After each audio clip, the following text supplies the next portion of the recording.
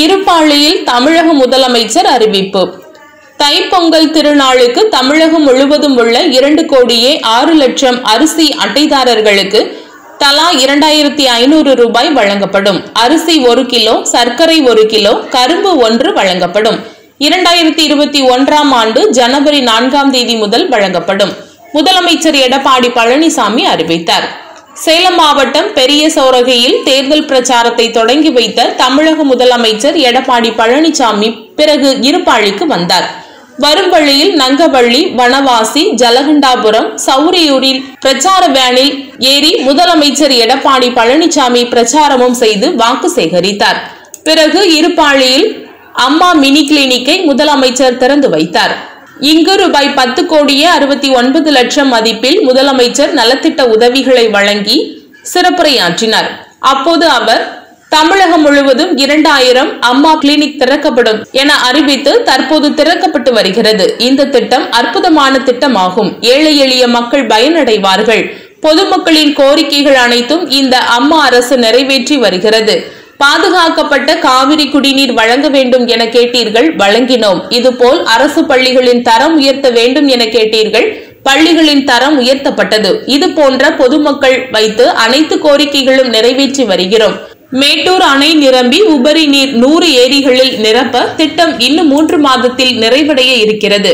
இந்த திட்டம் ரூபாய் ஐநூற்று அறுபத்தி ஐந்து கோடி திட்டமாகும். அரசு பள்ளி மாணவர்கள் பயனடைய ஏழு புள்ளி ஐந்து சதவீதம் உள் இடஒதுக்கீட்டில் முன்னூற்று பதிமூன்று அரசு பள்ளி மாணவ மாணவிகள் மருத்துவ கல்லூரியில் சேர வாய்ப்பு கிடைத்திருக்கிறது. பதினோரு அரசு மருத்துவ கல்லூரிகள் ஏற்படுத்தப்பட்டிருக்கிறது.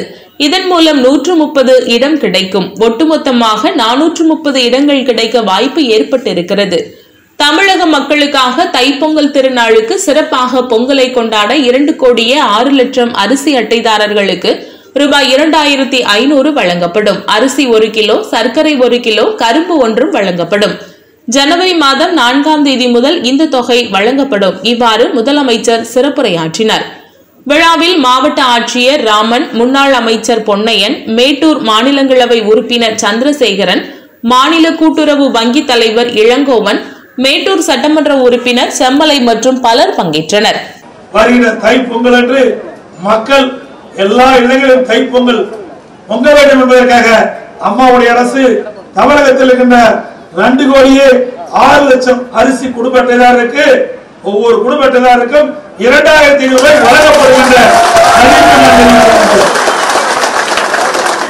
அதோடு எப்போ வழங்குவது போல வேச்சி சீலையும் வழங்கப்படும். அதோடு அரிசி ஒரு கிலோ வழங்கப்படும் சர்க்கரை ஒரு கிலோ வழங்கப்படும் கரும்பு ஒரு துண்டுக்கு பதிலாக ஒரு முழு கரும்பு வழங்கப்படும். உலர் திராட்சை வழங்கப்படும் முந்திரி வழங்கப்படும் ஏலக்காய் வழங்கப்படும். இதையெல்லாம் கொண்டு போறதுக்கு நல்ல பையும் வழங்கப்படும். ஆகவே தைப்பொங்கல் என்று அனைவரும் சிறப்பாக தைப்பொங்கலை கொண்டாட வேண்டும் தைப்பண்டிகை கொண்டாட வேண்டும் என்பதற்காக அம்மாவுடைய அரசு இந்த தொகுப்பு திட்டத்தை அறிவித்திருக்கிறது என்று மகிழ்ச்சியான செய்தியை தெரிவித்து அம்மாவுடைய அரசு மக்களுடைய அரசு உங்களுடைய அரசு. ஆகவே மக்களுக்காக எண்ணற்ற திட்டங்களை நாங்கள் செயல்படுத்திக் கொண்டிருக்கின்றோம். என் பேரு தீபிகா. அப்பா பேர் வந்து முருகேசன். கூலி வேலை தான் செய்யறாரு அம்மா பேர் வந்து சத்யா. நான் வந்து ஒன்னாம் வகுப்புல இருந்து பன்னெண்டாம் வகுப்பு வரைக்குமே கவர்மெண்ட் ஸ்கூல்ல தான் படிச்சேன். நான் வந்து காமராஜர் நகரவை மகளிர் மேல்நிலை பள்ளி மணக்காட்டில் பன்னெண்டாம் வகுப்பு முடிச்சேன். பன்னெண்டாவதுல ஐநூத்தி மூணு மார்க் வாங்கினேன். எனக்கு வந்து சின்ன வயசுல இருந்தே டாக்டர் ஆகணும் அப்படின்றதான் ஒரு கனவா இருந்துச்சு. அதனால டுவெல்த் டுவெல்த் வந்து எக்ஸாம் முடிஞ்ச வாட்டி நீட் எக்ஸாம் எழுதினேன். அந்த நீட் எக்ஸாம் ப்ரிப்பேர் பண்றதுக்கும் ஐயா கொடுத்த தொடுவானம் நீட் இலவச பயிற்சி மையத்துல தான் நான் பயிற்சி எடுத்தேன்.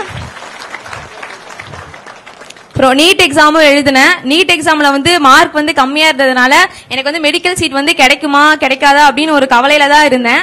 அந்த நேரத்துல தான் நம்ம ஐயா வந்து என்ன மாதிரி ஏழை எளிய அரசு பள்ளியில படிச்ச மாணவர்களினுடைய மருத்துவர் ஆகணும் அப்படின்ற கனவை ஏழு புள்ளி அஞ்சு சதவீதம் உள்ஒதுக்கீட்டு மூலமா நனவாக்கி வச்சாரு. அந்த ஏழு புள்ளி அஞ்சு சதவீதம் அந்த ஏழு புள்ளி அஞ்சு சதவீதம் உள்ஒதுக்கீடு வழங்கினதுனால தான் எனக்கு வந்து இன்னைக்கு தூத்துக்குடி மெடிக்கல் காலேஜில் மெடிக்கல் சீட் எம்பிபிஎஸ் சீட் வந்து கிடைச்சிருக்கு. அப்புறம் வந்து இந்த மாதிரி நம்ம கவர்மெண்ட் கோட்டால கவர்மெண்ட் காலேஜ் கிடைச்சவங்க பரவாயில்லாம். பிரைவேட் காலேஜ்லயும் கிடைச்சவங்க வந்து அவங்களும் வந்து ஃபீஸ் கட்ட முடியாம தான் இருந்தாங்க. அந்த நேரத்துல தான் நம்ம ஐயா வந்து தனியார் கல்லூரியில சீட் எடுத்தவங்களுக்கும் அந்த தொகைய அந்த கட்டணத்தை அரசே ஏற்கும்னு சொல்லிட்டு சொன்னாரு. என மாதிரி ஏழை எளிய அரசு பள்ளியில படிச்ச மாணவர்களுடைய மருத்துவர் ஆகணும் அப்படின்ற கனவை ஏழு புள்ளி அஞ்சு சதவீதம் உள்ஒதுக்கீட்டின் மூலமா நனவாக்கி வச்ச நம்மளோட மாண்புமிகு தமிழக முதலமைச்சர் ஐயா அவர்களுக்கு எங்கள் மாணவ மாணவிகள் சார்பாக கோடான கொண்டு நன்றிகளை தெரிவித்துக் கொள்கிறேன். நன்றிங்க ஐயா.